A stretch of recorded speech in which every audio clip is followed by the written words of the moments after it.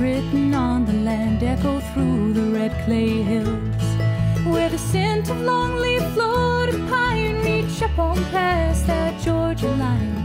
Stroll through Tallahassee town or southern Appalachia bound. Take the local routes and journey down the roads we call our home. Take the local routes and journey down the roads we call our home. Welcome to Local Routes. I'm Suzanne Smith with WFSU Public Media, and today I'm standing at the edge of this wildflower area in Innovation Park in Tallahassee, not to talk about these very tall flowers, but to talk about the pollinators that make them happen, specifically bees. Bees are an animal that elicit a variety of responses. For some, it's a love of the pollination they provide for the crops we eat or of the honey they make. For others, it's a fear of being stung. And while many of us think of the European honeybee when we think of bees, there are actually hundreds of native species in the Florida area. WFSU's Rob Diaz de Villegas talked with University of Florida entomologist Dr. Rachel Mallinger to learn more about these bees. We think there's about 320, 325 uh, species, and that includes some that are not native. The honeybee is not native, for example. So, of those 310 to 315 species, there's a huge variety in size and color. Some of them are not much larger than a large ant. Others, like the carpenter bees, those are larger than bumblebees, larger than honeybees. At least the large carpenter bees are. For most people, if they're just looking in their yard, bumblebees are pretty common, more so in the northern half of Florida. And those are the really hairy, round ones. They're like little furry, round balls. Carpenter bees are also common. Those look a bit like bumblebees, but they're uh, typically larger and a little less hairy, a little more metallic.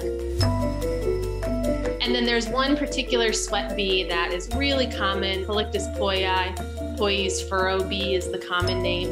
And it's a little smaller than a honeybee, uh, black and white striped. That one's real common.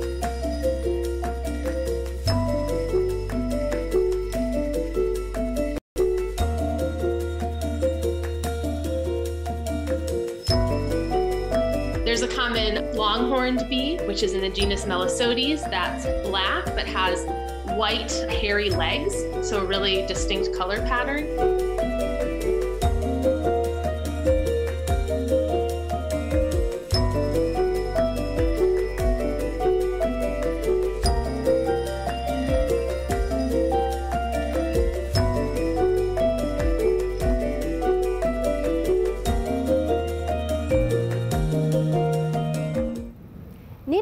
Important to our native plants and ecosystems, but they also pollinate tomatoes and other food crops.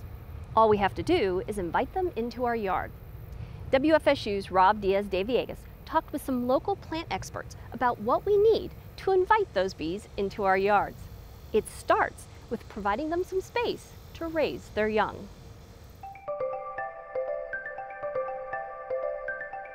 If you want to promote native bees, habitat is the most important, right? Providing them a place to live. The way we do that is we provide them with food, water, and shelter. Bees need flowers and also nesting habitat. So those are those are the two things that you can provide. The first step for creating a bee-friendly yard is observation. And so observing in natural areas like this one, what it looks like, what is part of the ecosystem. More natural looking landscapes for me offer an enjoyment of life. I get to see all these little things and in this connected circle of life. We're talking bee habitat. We'll get to flowers in part two of this segment, but before bees can visit your flowers, they need places to nest and spend the winter.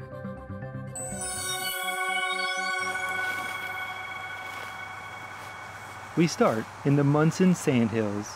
So when we are talking about creating a habitat for bees and other pollinators in our yards, the first step is observing. So walking into your yard and in your neighborhood and seeing what type of habitat you already live in. because we're trying to recreate and reestablish the environment and ecosystems that our human disturbance has disturbed, you know? These are the sandhills in the winter. Bees come from places like this. And when we mimic how natural areas help bees in the winter, we see more bees in the spring. It's important to remember that a lot of our native bees, when you see them, it's a short little part of their life cycle usually where they're out and about. The rest of the time they're spending in the ground.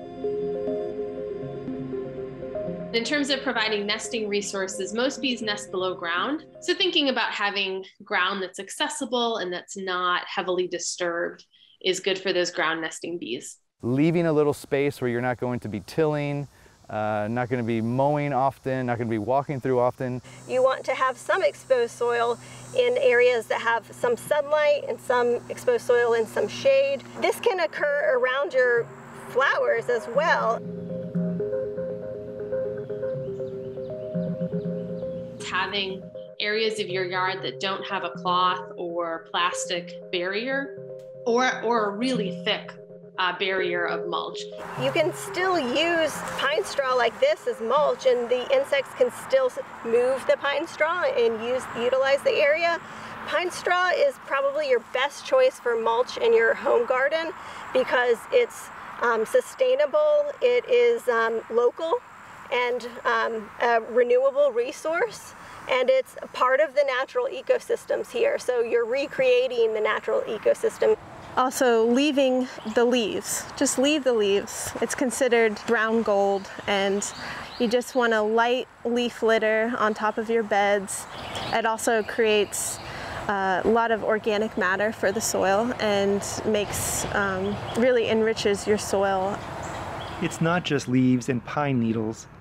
It's a hard idea for a lot of us to embrace, but bees need dead plant material in your yard branches and dead stems like, like this one. Th those are critical for nesting habitat for bees and for overwintering for bees. What I like to do is leave your dead stalks through the winter. Typically cut them back late February, early March when the new growth is just starting to emerge. Our native bees will use the pithy stems from plants like elderberry, pokeweed, even Monarda. They tend to nest in those stems.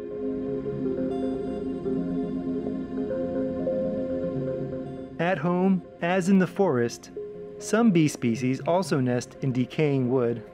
This is our brush pile. It is built upon with twigs and branches of all different sizes and shapes. This is a magical spot for native bees and other invertebrates. Everything from skinks to mice to birds, they'll come through. The twigs and branches offer homes for bees, solitary tunnel nesting bees. It also offers some exposed soil at the bottom for other uh, ground nesting bees. Some folks may wonder, you know, how can you incorporate dead stuff into a landscape with it still looking somewhat attractive. And so what we do here is we use actually a lot of these sticks to line our path. So you can see our little path meanders through our little shade garden here. And we've just used the branches that fall to line it along the way. And it's a great way to feed the microbes in the soil with this decaying wood matter. Leaving any kind of snag, if you can, is incredible for wildlife. One of the most important trees in the forest is a dead tree. And so again, providing dead material in your landscape in a kind of attractive kind of way is a really good way to bring in native bees, other insects, to try the best you can to make your landscape a living ecosystem. You won't likely see your bees over the winter months, but if you leave some bare patches of ground, leaves, flower stalks, and dead wood, you're much more likely to see them in the spring and summer. For WFSU, I'm Rob Diaz de Villegas. Those two stories we just showed you are part of a special project we're working on that's tied into an upcoming documentary by PBS Nature called My Garden of a Thousand Bees. It airs on October 20th at 8 p.m. Eastern. Here's a preview. In the spring of 2020, as the country goes into lockdown, outside, the garden is coming alive. As a wildlife filmmaker, I knew there were revelations here. Discovering the secret life of bees took me on a journey I was not expecting.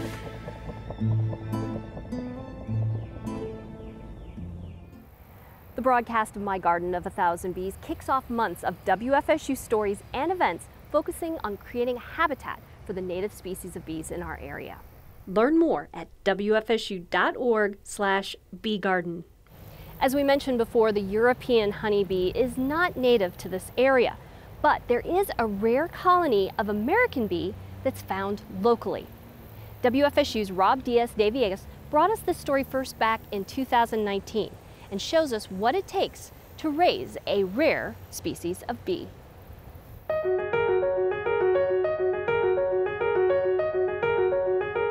I can't give you the date that I became interested. When I was a kid, I was the kid out, you know, on the clover plants, catching the bees, watching them, even marking them when I was five, six years of age. So it just progressed from there. I was doing some holiday work. I was carrying shingle to the roof for my uncle. He was a, a carpenter. The owner of the house is a bee farmer and asked if I want to help him during those down period. And I said yes. Going into the hives a couple of times and you know, seeing how the bees work, everything gets so fascinating. Lee and Worrell have been working together to breed strong and productive honeybees. Lee's yard is a refuge for these non-native pollinators, as well as native bees, wasps, and butterflies. Today, we meet a new arrival here. Bombus pennsylvanica. They are native to the United States. When you see bumblebees in your yard, they're more likely the common eastern bumblebee. They are endangered and uh, the habitats are being destroyed based upon urbanization and agriculture, extensive agriculture production. I'm somewhat pleased, um, having learned, you know, exactly what they are, that they're a, a bee that's at risk, uh, to be able to provide a sanctuary where they can, you know, not just live but thrive. The bumblebees had colonized a gourd birdhouse similar to these purple martin gourds at Lake Alberta, but not all native bees form colonies. Apart from the honeybee, which is um, not native, most of our local bees that are found here, they are somewhat solitary. Some of them would somewhat um, have a plastic relationship where they would start out solitary and uh, where they would find one queen go and establish her nest and after laying those eggs will emerge, those set of workers, and then those workers will nurse other brood, and then it will go into like a eusocial kind of setting. So we'd have cooperative brood care and overlapping generation. Providing a home for native bees helps preserve our local biodiversity. By raising non-native honeybees, they're trying to help an economically important agricultural animal. All right, this is a drone right here. So there's three castes in the hive. You have the queen, the workers, and the drone. So the drone is the male bee, and the drone don't sting.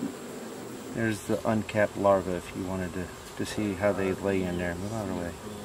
Breeding a bee is simple, in my opinion, right? Um, once you've mastered the art of it, uh, it's not really difficult. But breeding a bee that is viable is something that's totally different. So we're looking for a bee that's resilient. We're looking for a bee that's hygienic. You know, what's a clean bee? It's a bee that cares for its its colony and cares for the hive in which it's in. You know, my research is trying to find ways how we can um, improve the health of honeybee. The collapse is, is a combination of issues. It's a combination of management, it's a combination of pests, it's a combination of improper pesticide use, monocropping, the you know, agricultural practice and as I said urbanization where habitats are being destroyed. One pest we saw today was the small hive beetle. They lay their eggs in honey stores where their larvae will hatch. And they would you know pass their waste and they would cause that stored honey to become acidic and, uh, and moisture level would increase and it would cause the bees to just abscond and leave the hive. While Lee and Worrell manage their hives to best protect their bees, they're also looking to breed a bee that can survive on its own. We manage the colonies. We know they're going to make it to the winter because if we see that, that, that you know they're starting to, to, to run a little bit shy on their stores, we'll supplement. But a bee in the wild doesn't do that, right? That colony would collapse. So we're looking to build a bee um, that is that is capable of, of overwintering in and of itself. So the genetics that, that we're producing here will be injected into the environment around us. Both honeybees and our native pollinators need habitat to survive. That habitat could be right in your yard. About, I'd say about three quarters of an acre we converted into a natural pollinator habitat, if you will. While this segment is focused on bees, it's not just the bees that we're trying to support here.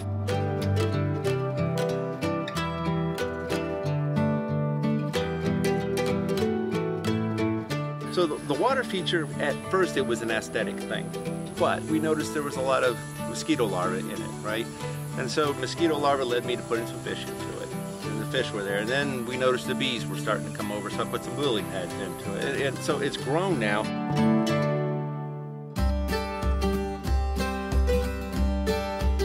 So if persons put in more native plants in their yard, that can be a, a good habitat, a refuge area for many, many beneficial insects. You'll find a lot of different solitary native pollinators. You'll find the bumblebee, you'll find the honeybee, you'll find other insects also that are feeding on them. So it's like a complete ecosystem. For WFSU, I'm Rob Diaz de Villegas.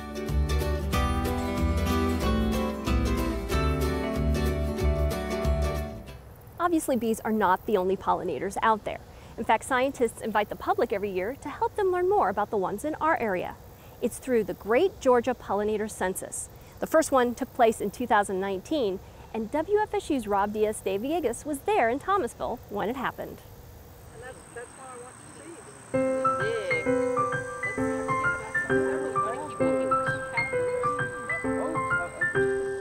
There are many, many species of native bees and wasps and flies. A housefly is only one of hundreds. Honeybees only one of hundreds. And wasps too, there's hundreds of species of wasps.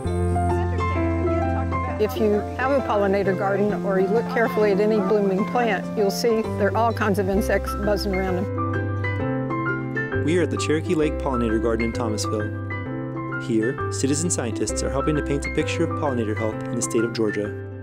This is the first ever Georgia pollinator census. It's called the Great Georgia Pollinator Census, and it was started by the University of Georgia. And people are counting pollinators all over the state for science. So, what are you what are you guys like marking down specifically when you see each plant? Um, just like how many butterflies we see, uh, whatever sort of insects or animals that we see crawling around the tree or making a habitat out of the plant, then that's usually what we uh, record. Mm-hmm. Cool. And so far we've seen a lot of butterfly chrysalis, a lot of caterpillars. Lots of ants. Mm-hmm. Being out here today, we've seen some really cool praying mantis. Mm-hmm. Yeah. Lots of action with them. It's really amazing how little so many people know about anything in nature. So citizen science gets people out in nature. So for this census today, people have learned about pollinators and learned about the groups of pollinators. Pollinators include butterflies and moths, but also carpenter bees, bumblebees, honeybees, small bees, wasps, flies, and other insects like beetles. Beetles are a, a pretty common pollinator. Pollinators need more than just flowers. Each butterfly can only lay its eggs on specific plants. Probably the one that people know the most is monarchs. Monarchs uh, will not lay their eggs on any plants except milkweeds. Is nothing as pretty as a monarch chrysalis. Oh, it's just gorgeous. It has gold and shiny, metallic looking dots across the top of it. It is so beautiful.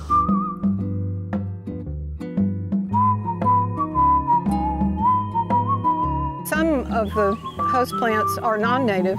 For instance, the giant swallowtail, which is our largest butterfly, uh, its native host plant is a hop tree. This one's different. But they also can use any kind of citrus plant. And so if you have a lime or orange or satsuma or anything like that, and you see a caterpillar on it that looks like bird poop, that's the giant swallowtail caterpillar. Really beautiful butterfly. Right here, this vine, you see this vine with these big leaves right here?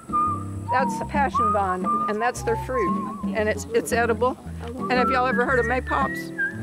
Down here in the south, um, kids kids would take the balls and hit them, hit each other with them, and they would pop. This is the larval food of the Gulf fritillary butterfly.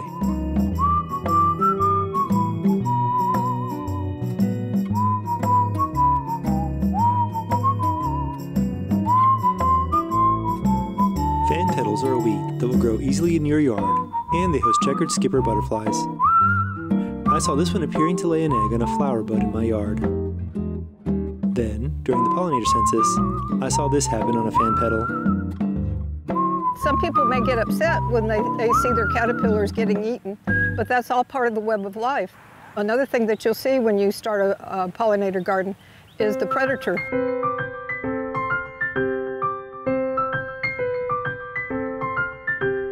I'm 70 years old and um, I won't be around a whole lot longer, but uh, we need so much for younger generations to get involved with these kinds of things. But I want to encourage everybody to plant natives and to get involved with any kind of nature activity you can, like Audubon and Florida Trails and Florida Native Plant Society, and uh, for Georgians, Georgia Native Plant Society, Georgia Botanical Society.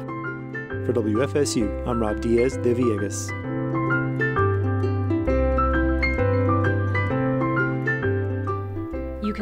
About the pollinators in our area, as well as the other creatures of the North Florida, South Georgia area by heading to our ecology blog.